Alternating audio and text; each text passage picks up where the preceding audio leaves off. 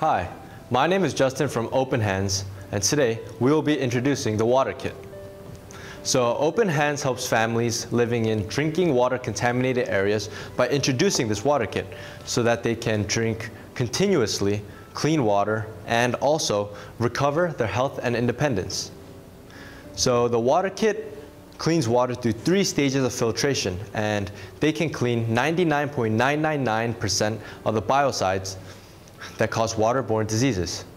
So the water kit has three different main components. The first component here is the microfilter. The microfilter is stacked in a multi-layer structure and is made out of fabric. This filter helps uh, remove foreign substances in the water and should be exchanged around once every month. Next, this is the carbon filter and it has an orange sticker on it. So the carbon filter is made of charcoal and ion exchangers that help clean out the taste and smell in the water. This filter should be exchanged around once every three months. Last but not least, this is the ultra filter and it has a green sticker on it. So the ultra filter is made up of a hollow fiber structure and this helps out clean out all foreign matter that is greater than 0.1 micrometers in size and also once again helps out clean the foreign substances in the water. This filter should be exchanged around once every 12 months.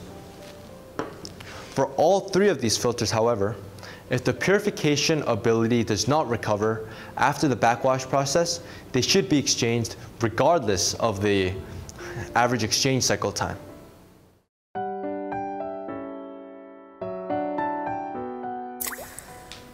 Now, I'll be explaining the other various components of the water kit.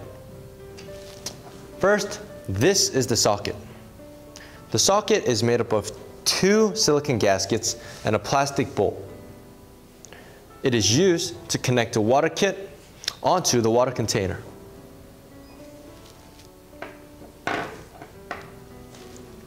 This is the rubber hose. The rubber hose is simply used to connect the socket onto the water container. Now these two things are the filter caps. This one is for the top and this one is for the bottom. And as you can see, they come in two different shapes and sizes. So it is easier to distinguish. Next, this is the rubber band and the stabilizing ring. These two components are used so that the water kit can be attached to the water container.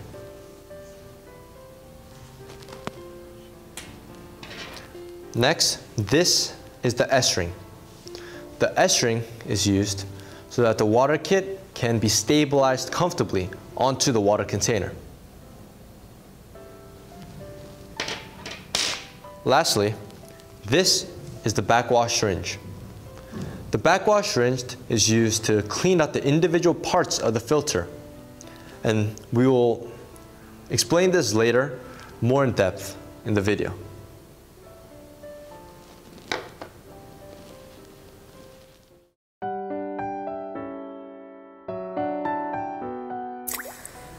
Once you first receive the water kit, it will come in this specific manner and it will be assembled just like this. So what you, and now I will show you how to assemble the water kit.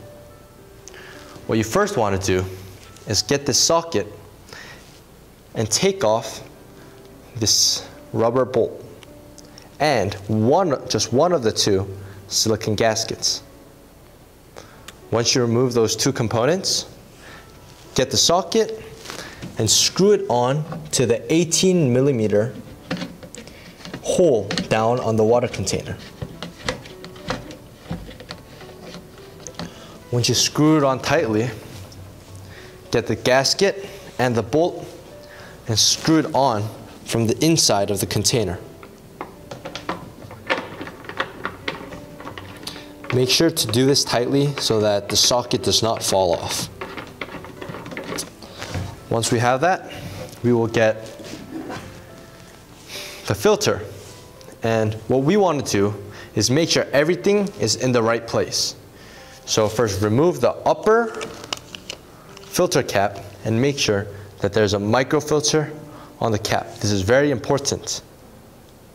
And once you have that, make sure that you have the carbon filter with the orange sticker, the ultra filter with the green sticker, and lastly, the bottom filter cap. Once you have all of those, screw it back in place. And now we will get this stabilizing ring and rubber band and attach it to the filter. So what we want to do is make a little knot right here so that it's nice and tight and attach it to the green part of the filter. Just like this.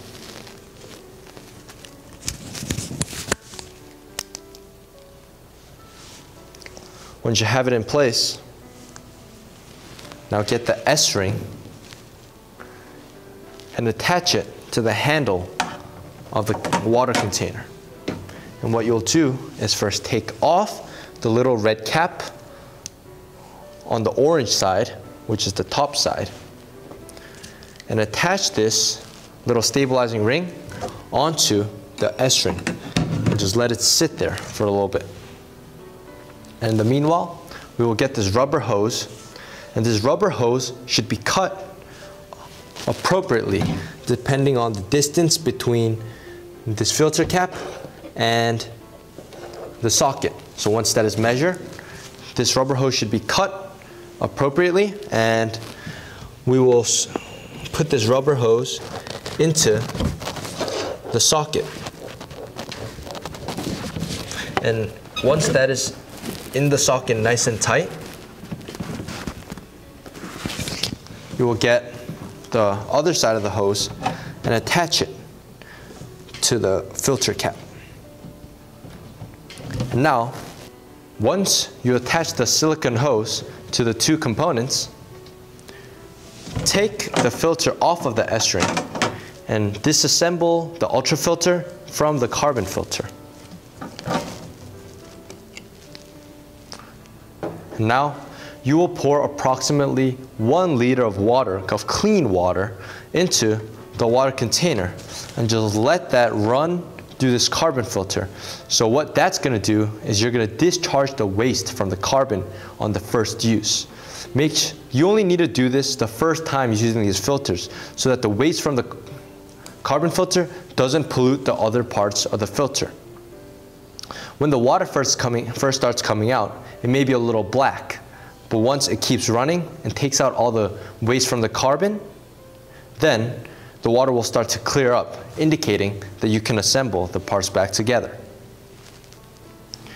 Once you pour approximately one liter of water through the carbon filter, get this ultra filter, oh, my bad, assemble it back,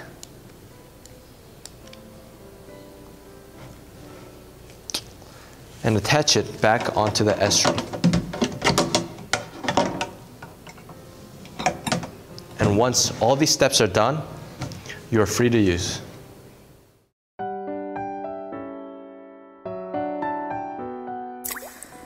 While using the water kit, you will find times when the amount of water coming out of the filter isn't as much as before. And that's because there is the waste stuck in each of the filters. What happens is when the water goes through, the water gets stuck on the waste and it will not come out as smoothly from the other side. So to cure this, we use something called the backwash method. The backwash method allows us to clean the waste out of the water filters and allows the water to run smoothly through the filters. For this process, we need the backwash syringe, the filter, and two bowls. One of the bowls should be completely empty, while the other bowl should be full of clean water. It's not full of water right now, but during the backwash process, this bowl should be filled with clean water. The first step is to get this filter and remove it from the rest of the kit. Once that is done, disassemble the carbon filter from the ultrafilter. We will get the ultrafilter, take the red cap off, and now get the backwash syringe.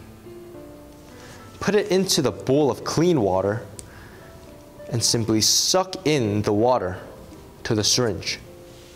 So once clean water fills up the backwash syringe, insert the syringe into the cap of the ultrafilter. Now once it's in there, push out as strong as you can and water should come out from the other side.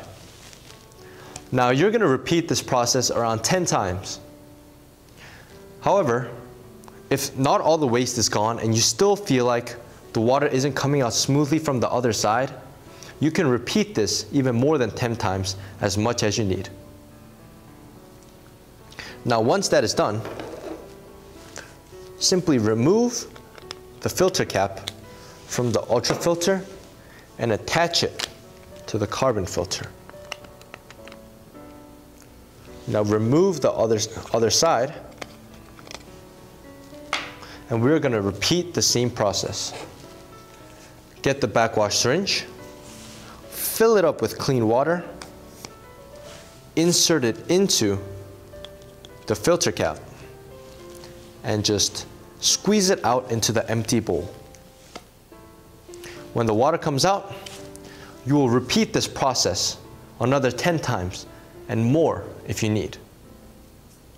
Once the backwash process is done, get the filter cap that you took off, add it to the carbon filter, and take off the other side. Now you'll put back together the two filters. And lastly, put the filter cap back on where it started.